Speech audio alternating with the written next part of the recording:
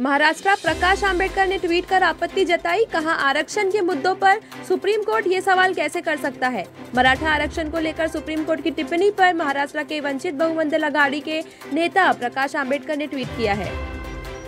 महाराष्ट्र में सियासी ड्रामे के बीच संजय राउत का शायराना अंदाज। महाराष्ट्र में सियासी ड्रामे के बीच संजय राउत ने जावेद अख्तर की एक शायरी ट्विटर पर शेयर की है।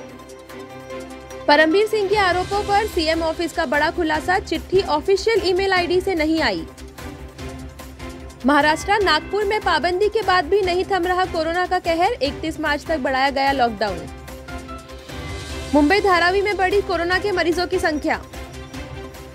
मुंबई में कोविड को हराने के लिए 22 मार्च से मॉल और रेलवे स्टेशन पर शुरू होगा antigen corona test. Paramvir Singh ने सीएम उद्धव को लिखी चिट्ठी गृह मंत्री अनिल देशमुख पर लगाया 100 करोड़ की वसूली का टारगेट देने का आरोप।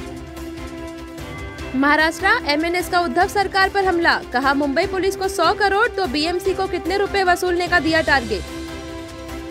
Ambani bomb case NIA का दावा, स्कॉर्पियो चोरी होने के दिन सचिन वाजे से मिले थे मनसुख हिरेन। बिहार रेलवे की सौगात, होली पर चलाई जाएगी तीन और स्पेशल ट्रेनें। गृह मंत्री का इस्तीफा बाद में पहले सीएम इस्तीफा दे नारायण राणे महाराष्ट्र। महाराष्ट्र मंत्रिमंडल तक पहुँचा कोरोना, सीएम उद्धव ठाकरे के बेटे आदित्य हुए पॉजिटिव। मनसुख हिरेन केस, जहाँ मनसुख हिरेन का शव मिला था, वहीं एक और डेड बॉडी मिलने से हड़कम मनसुख हिरेन डेथ केस, उद्धव सरकार को एक और झटका, महाराष्ट्र एटीएस नहीं, अब एनआईए करेगी मामले की जाँच। अमृता फडणवीस का ठाकरे सरकार पर निशाना, कहा बात निकली है तो दूर तलक जाएगी, बादशाह को बचाने में कितनों की जान जाएगी।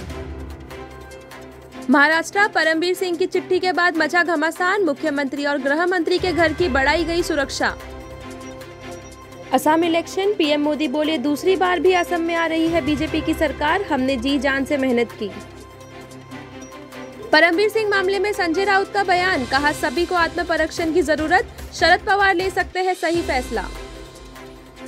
महाराष्ट्र पिछले 24 घंटे में सत्ताईस हज़ार ऐसी ज़्यादा नए केस, अब ग्रामीण हिस्सों में भी फैल रहा है कोरोना।